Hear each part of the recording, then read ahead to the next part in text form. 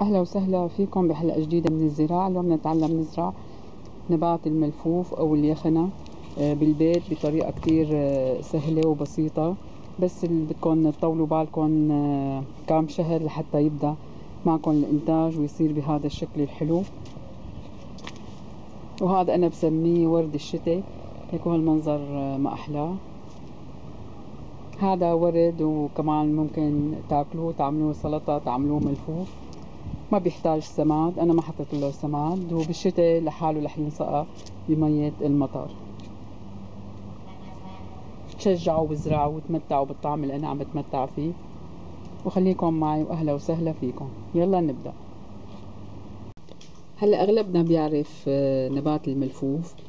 آه، هو من الخضروات. وبنعرف إنه هو نبات شتوي بيطلع بفصل الشتاء. آه، بتم آه، إذا نحن بدنا نعمل بالبيت رح نزرعه بأواخر فصل الربيع بيكون تقريبا اليخنة يعني الساق تبعها أسيت.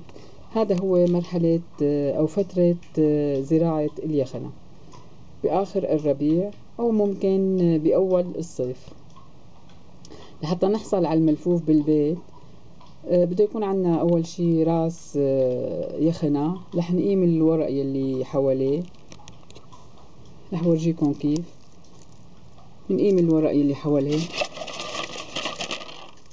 هلا أنا هذا كنت أول شي حاطته فترة بالمي مثل ما لكم شايفين. بعدين بنجهز أي نوع من التربة. طيني رملية حمراء سوداء أي نوع تربة موجود عندكم فهو رح يعيش. هلا رح نفتح حفرة بالتربة هون بهالطريقة. على قد الساق تبعها ممكن كمان ما تنقعوا بالمي دغري تحطوه بالتربة بعد ما تقيموا الورق. بس أنا حطيته لأنه ما كان عندي وقت أزرعه. رح ننزله ننزله منيح بالتربة ونغرزه. ونرجع التربة ونضغط عليها لنفرغها من الهواء ممكن نعملها بإيدينا. أو ممكن مثل ما أنا عم بعمل بمعلقة أو أي شي عندكم. وبدنا نسقيها بشوية مي. نتركها فترة بالفي بعدين رح ننقلها للشمس. بدنا نحطها فترة طويلة بهذا الشكل. آه، يعني كل فترة الصيف والخريف لحتى يجي الشتاء لحتى تبلش تعطينا اليخنة أو الملفوف. هلأ أنا آه، بدي هي إنقلها بعد فترة للسطح وحتى بحوض أكبر. يعني حوض تقريبا قد هاد لحتى تنمو وتعطينا هاليخنة الحلوة الشهية. خليكن معي وتابعوا. أهلا وسهلا فيكم في حلقة جديدة من الزراعة. اليوم بدنا نتعلم أو بدنا نحكي عن نبات اليخنة. مثل ما لكم شايفين هذا هو النبات. هلأ أنا هذا كان عندي الكعب تبع اليخنة حطيتها بال بالتراب وصلت تقريبا فترة طويلة. يعني كل الصيف وأنا زارعتها. هلأ بداية الخريف نهاية الخريف وبداية فصل الشتاء حسيتها عم تنمو. شوفوا هالمنظر ما أحلاه كتير صارت حلوة. أنا الحقيقة وقت زرعتها فكرت بده يطلع منها بذور بس الحقيقة ما طلع بذر بس الوراق ليكوا كيف طالعة كتير آه، منظرها حلو بتمنى كمان تزرعوه الجذر تبع اليخنة أحسن ما ترموا ممكن تحصلوا على هذا النبات. شوفوا قد إيه حلو هالمنظر.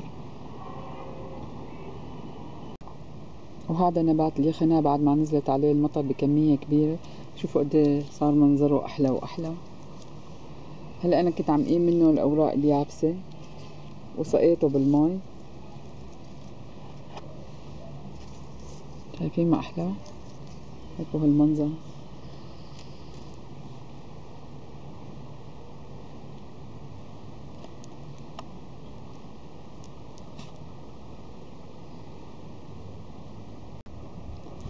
شوفوا قد إيه حصلت على هالكمية الكبيرة. عدوا كام يخناية في هون أو كام ملفوفة. شوفوا هالمنظر. شوفوا الحوض هيك من فوق قد إيه كبير. شوفوا هاللون الحلو انتو بس. شوفوا من هون كمان. هي مية المطر بقلب الورق. أنا ما عاد سقيتهم. هي المطر لحالها عم تسقيهم.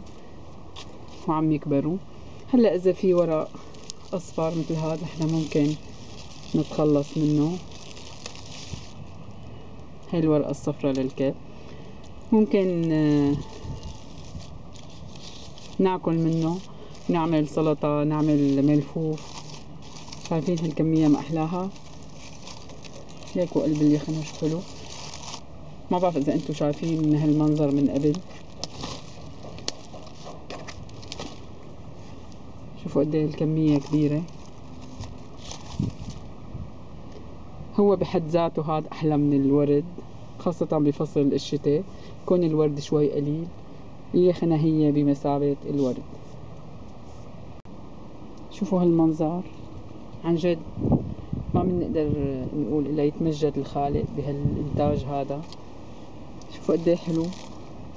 بشتهي هيك الواحد يحضنه على قد ما هيك الورق مقزقز وظريف. هلأ بدي دوق وحدة مشان شهيكم تزرعوا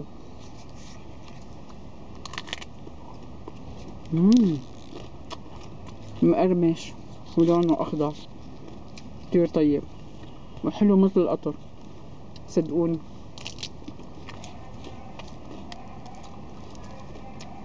بتمنى تزرعوا تعملوا هالفكرة؟ مثل ما بقلكن دايما الورقة من هي مقابل الراس كله اللي بتشتروه من السوق.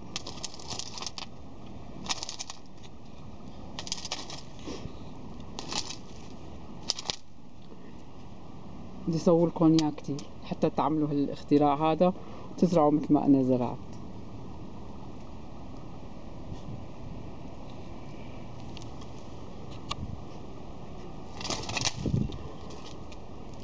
وما تقولوا إنه طولت الفيديو هذا النبات بيستحق التصوير لأنه عن جد أحلى من الورد هلا أنا رح الورق الأخضر وأرجع لكم. عفوا رح الورق الأصفر وأرجع لكم.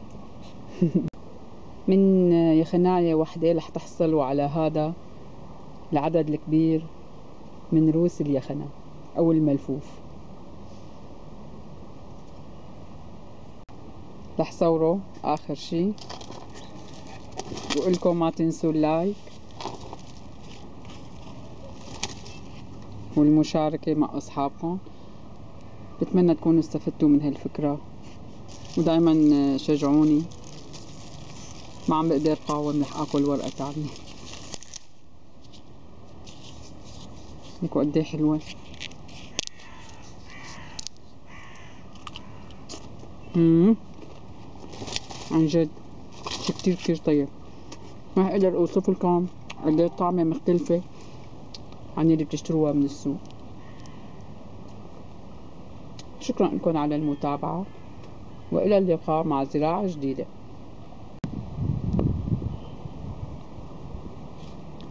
وهي الطيور كمان انبسطوا.